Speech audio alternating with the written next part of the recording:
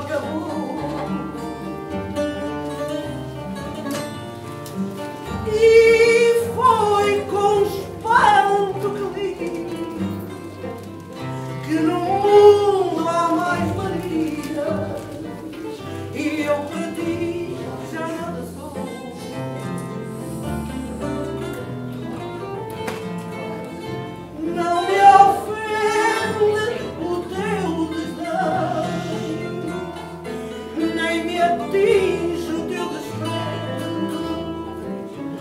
podes, pois, ficar em paz.